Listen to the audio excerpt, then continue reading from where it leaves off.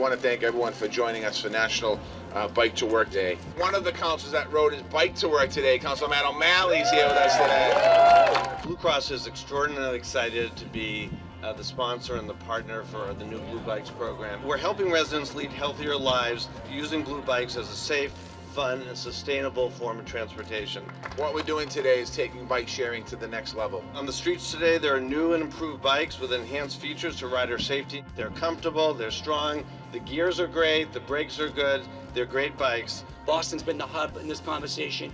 I was here several years ago when we launched this system. It's great to see so many more people out. With 100 new stations, we're expanding access to new neighborhoods that have previously not had a bike share presence. It's important for us to continue to make sure that that, that biking remains a, a real big option and continues to grow in our city.